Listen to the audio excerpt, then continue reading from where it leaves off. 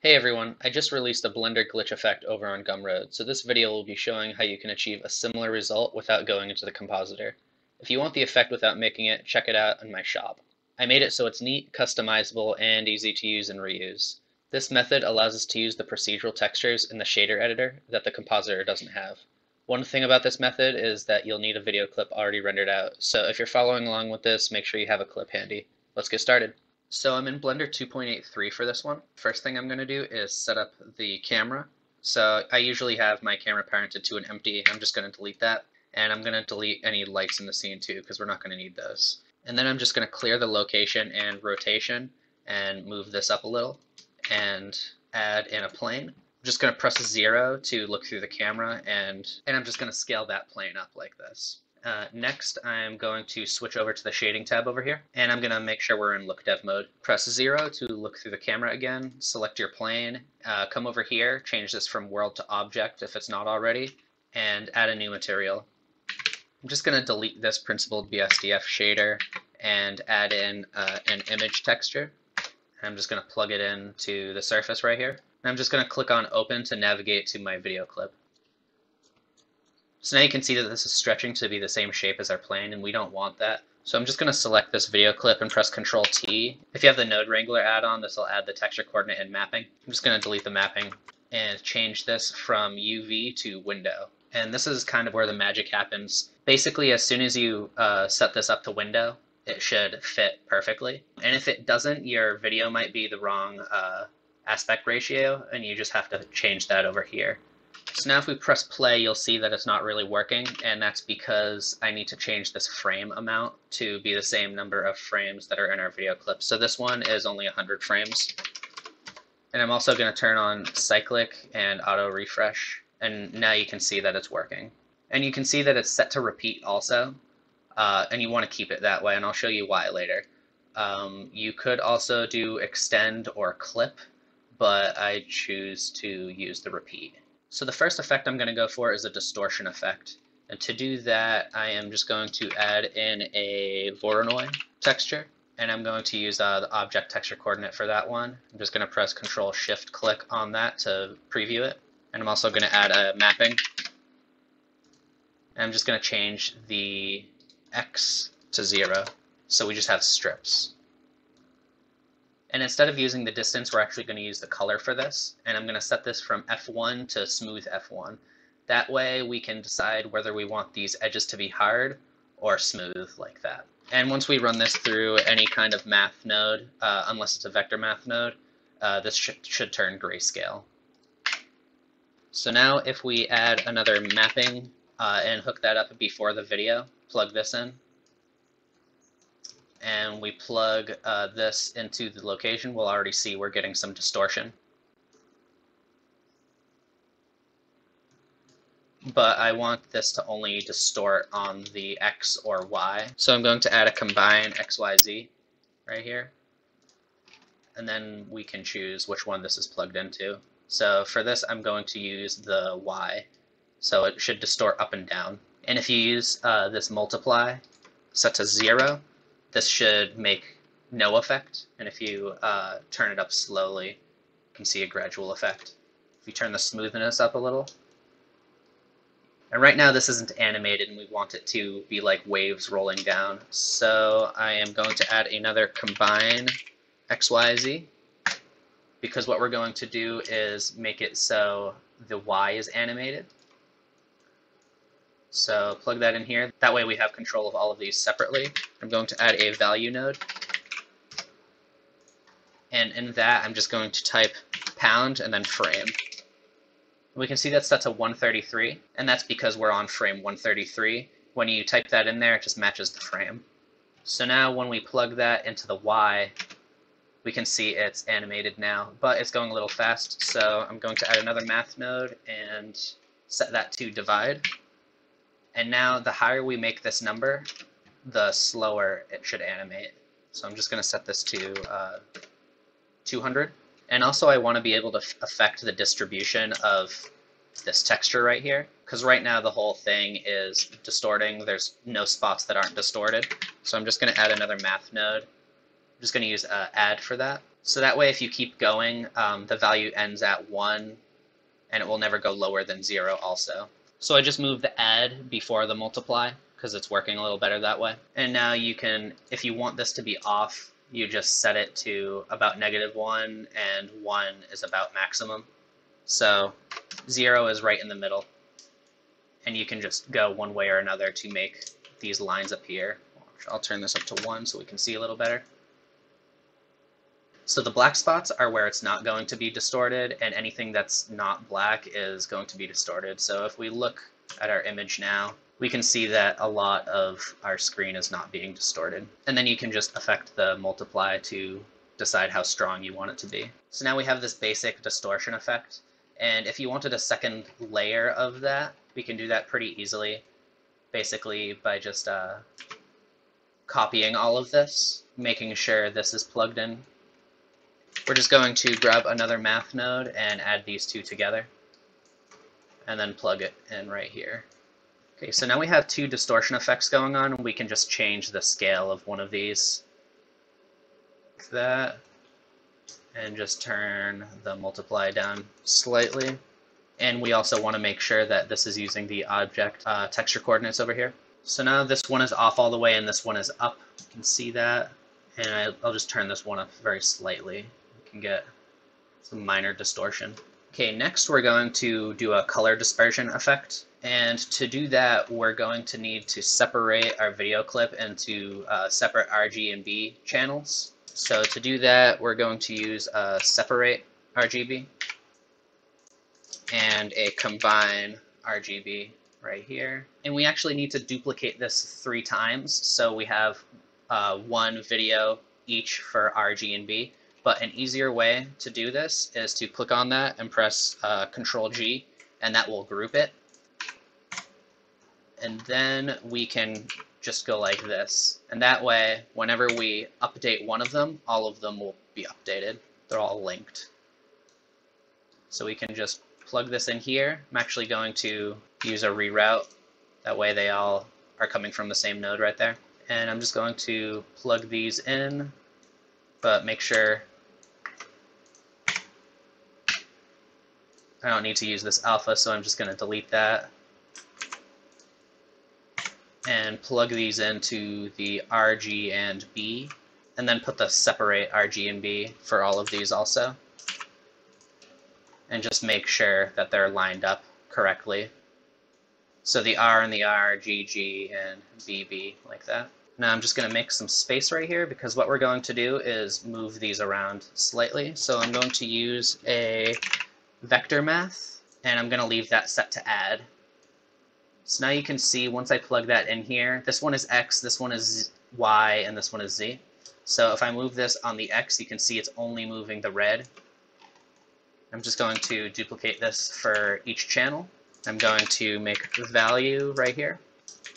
I'm going to grab a combine XYZ. That way we can decide which axis we want these to move on. And they're all going to be moving on the X. And then I'm going to grab just a regular math node and plug the value in here into the top one and make sure these are both plugged into the X. And I'm going to skip the G and I'll show you why later. And so for this one, I'm going to set to 0.1, and this one I'm going to set to negative 0.1, and this leaves our G channel right in the, the very center. And now if we set this to 0, oh, you know what? I have to change this to um, multiplication. There. So if we set it to zero, nothing is happening, and if we move this up slowly, we can see it slowly starts to spread, and the G stays in the middle. That way our image should be basically centered. So you don't really need to have these here, but I like them there just for consistency, and because if you want to alter it later, you can come in and mess with it. You can see this moves pretty fast, so if you want it to move slower, you can bring another math node in here, set that to uh, divide, I'm just gonna group these together and throw the divide right here. And if you make this number something big like a thousand, then this will give you more fine-tuned control. But if you wanted to use a texture instead, that works also. Basically, you can just delete that right here.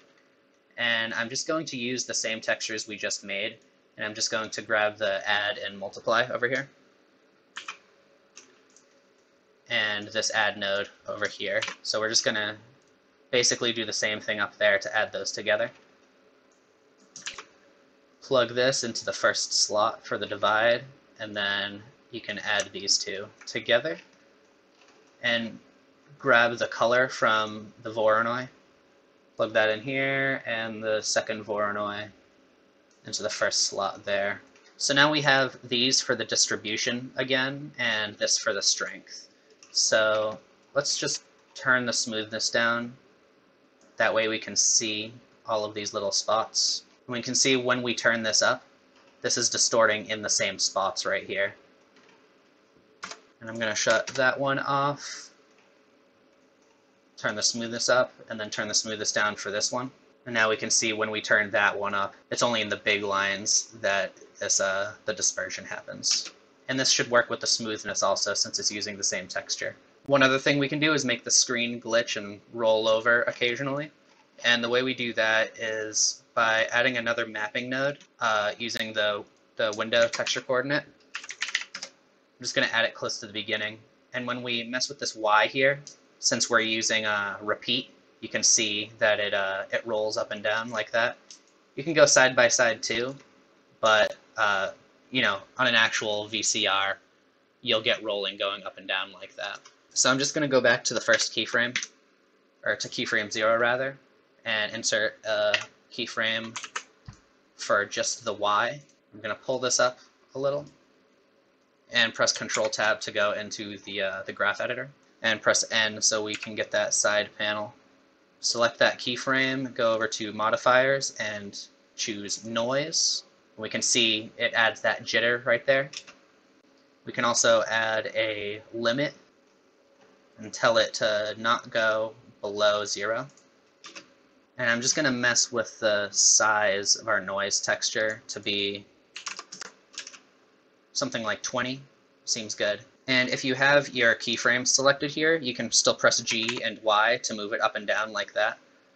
So say you only want it to glitch out every once in a while, you just have to press G and Y and then move it down so those peaks are uh, just showing like that. So most of it is flat, but when it goes over one, it'll glitch out like that. And if you want it to go up or down more, you can just change the, the strength to go much higher. like that, and add some depth for detail. I'll just turn this up to 4. And I'm just going to bring this down slightly so it only happens occasionally. The last thing I'm going to show is uh, how to put some static on top of it. And with that, we're going to make a new texture. So I'm going to go back to the beginning, add a noise texture right here, and grab the uh, object texture coordinate to plug that in and this is going to go pretty close to the front. So right after this combine RGB, I'm going to add a mix RGB. And we can, can control where the static is with the factor right here. And then the texture of our static is going to be in this second color slot. I'm going to add a mapping right here, that way we can control it a little. And I'm going to plug it in over here. And I'm just going to turn the factor all the way up, that way we can see our noise texture. And so this noise texture is going to be our mask, and I want there to be um, a way to control how close the black and the white values are.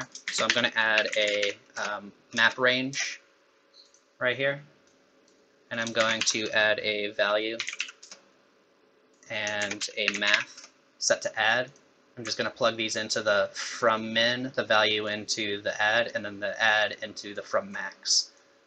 That way, when I change this, um, the black and the white are this far apart. So if I set this to 0.1, the edge is the edge will be a little harder. And I'm just going to plug this into the factor and change this to white for now. So we can see this is our mask, and the black spot is our video, and the white spot is uh, just this color right here.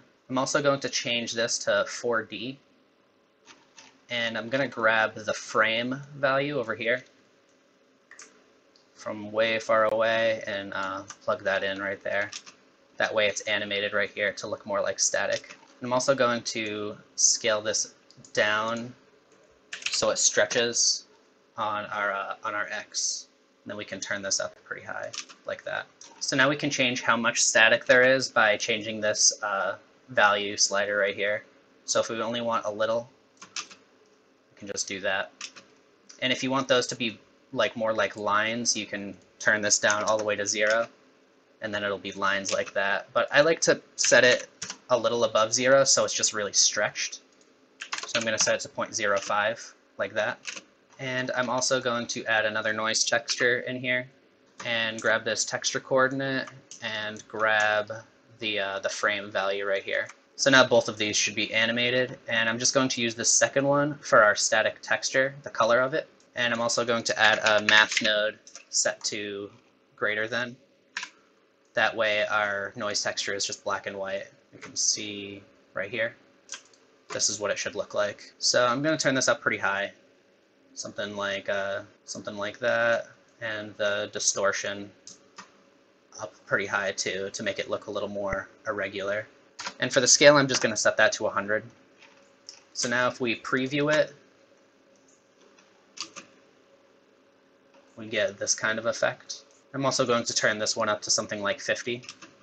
And you can just adjust this however you like. So I think it should be down a little further and the edge should be a little more crisp, so 0.01 maybe. And I'm going to turn the distortion up slightly too. So now when we play it, that actually looks like pretty good static. When you stop it and zoom in, you can see that it is pretty clear. So if you want, you can turn up the, the detail or something like that. But also, when this is in motion and uh, rendered at a lower resolution, it should look pretty natural. Also, one last thing, when you go to render it and choose your output and everything down over here, um, I recommend instead of rendering it up here to do viewport render by going to your viewport. Under view, you can do um, viewport render animation, and that'll basically give you whatever uh, you see in your viewport. Um, this also does work in cycles, but I recommend rendering it this way because it's much faster. Um, and it should output pretty fast since your original video is just a video sequence. It doesn't really have to do much work. And that's pretty much all there is to it. If you like this video, consider liking and subscribing. I like seeing all your work, so if you use this effect in one of your projects, tag me on social media so I can check it out.